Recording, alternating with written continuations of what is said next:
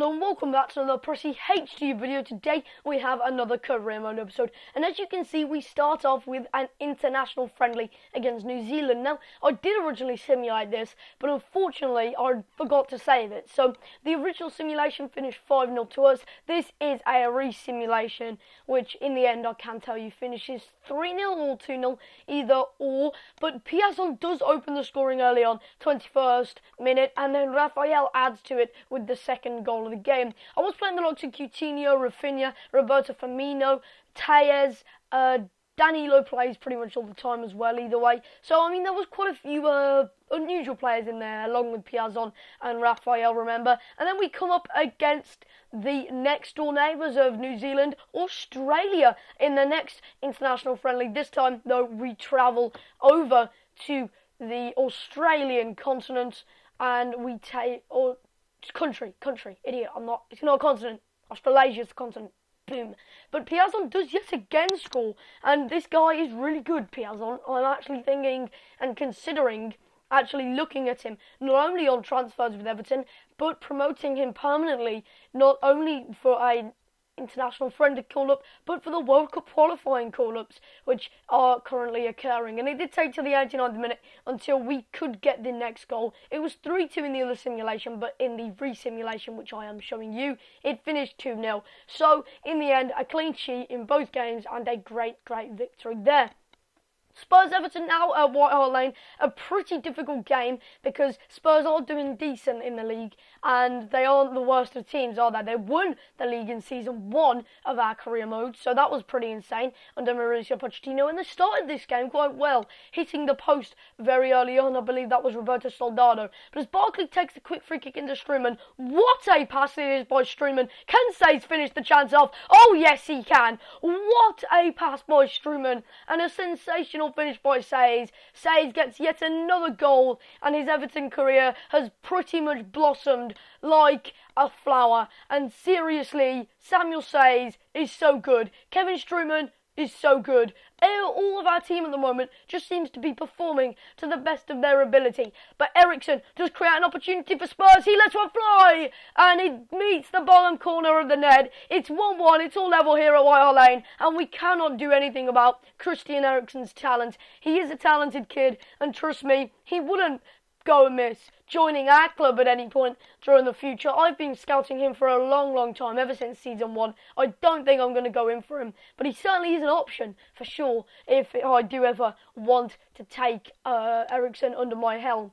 1 1 at half time after a poor attempt by Eric Dier, our centre back, from the edge of the area. And well, the halfway mark really, really did set foot for the rest of the game because at 1 1, you can really see us creating something, sort, sort of setting up a new attack. And in the end, Lacina Traore comes on for Stambouli, as Samuel Saiz, has a great chance, but can't really create anything from it. So as the ball was switched over towards Samuel Saiz, he couldn't do anything. For some reason, Lacina Traore kept walking in a circle through the middle of the pitch there, and that was a bit of a glitch. But either way, um, you know, a point from that game I will take.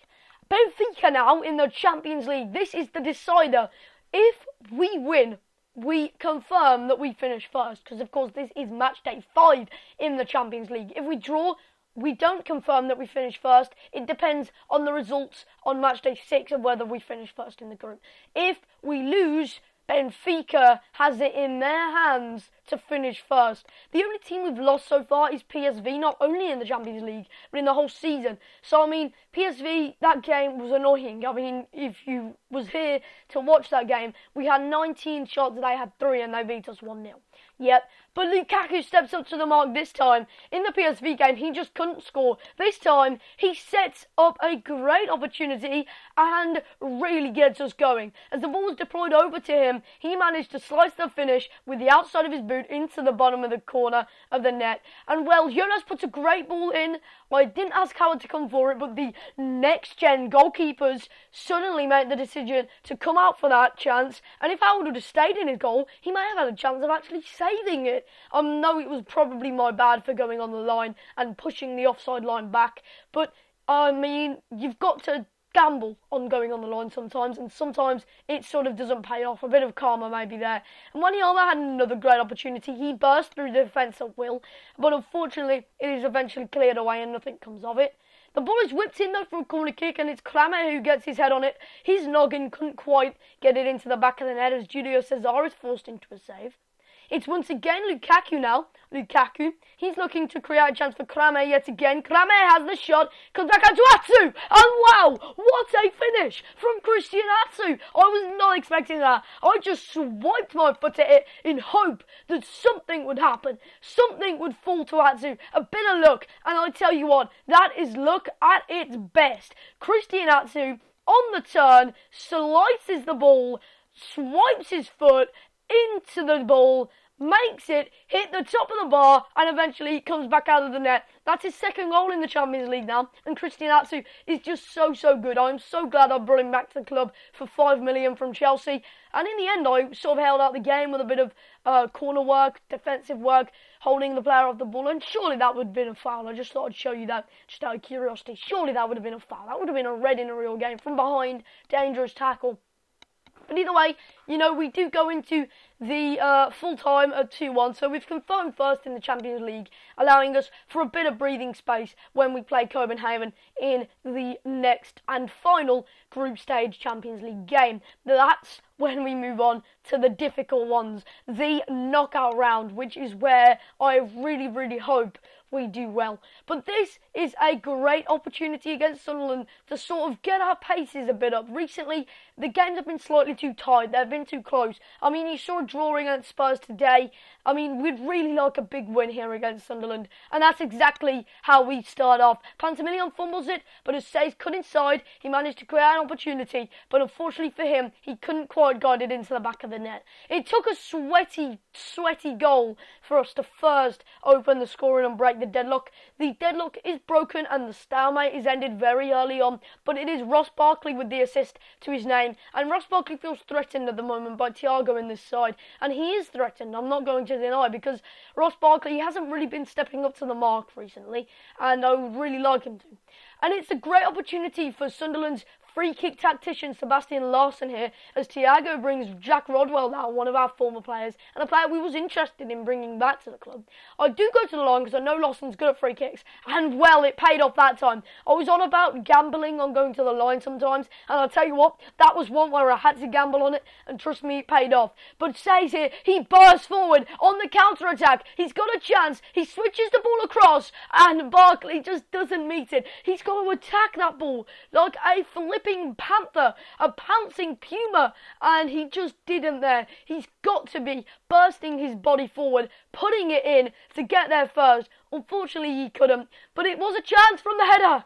Oh wow, it's just got it over the roof of the net, and it is another corner kick. It's Baines on the corner. Baines whips it in towards Dier. Dier meets it again. Pantilimon claims, and that will be half time. 45 minutes gone, and that is the current scoreline.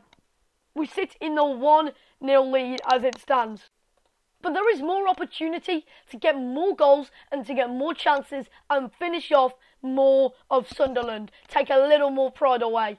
It is still a banana skin, one of them tight games which I wasn't really looking for. We need to be slightly more lethal, slightly more clinical. But as the ball is delivered over to Barkley now, Barkley picks it up and he manages to ride the tackle. He manages to push forward, pushes on the defence, doesn't get sweaty this time, and smashes it into the bottom left corner of the net. So we do start this half as we mean to go on, and Ross Barkley feels threatened in real life. I mean, in real life, in this game. So, I mean, it would be really, really good if he could really sort of finish this off here. And, I mean, it's lucky for him to get this goal because because he feels threatened, he needs to perform. He needs to not only talk, to the press, but he needs to talk with his feet, and that is exactly what he's done there. It's excellent work. But as the ball is played into this kick, a bit of one-two work. Atsu overrides the challenge. Atsu! Oh wow, what a chance for Christian Atsu. Performed really well in the last Champions League game, but not there. Strootman though, he has the vision to pick out another excellent pass. Seems to be what Strootman does best. It's Samuel Saiz.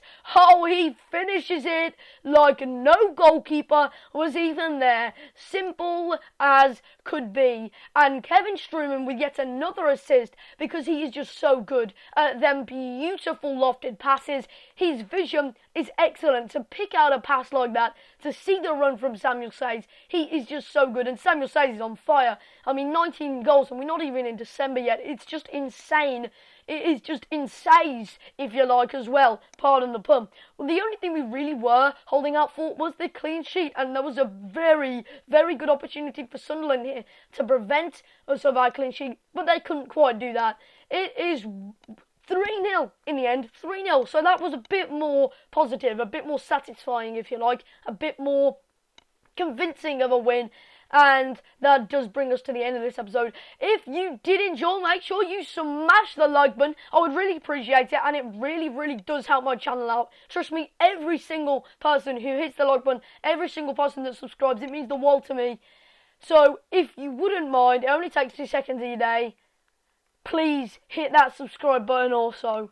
Thank you, and I will see you next time.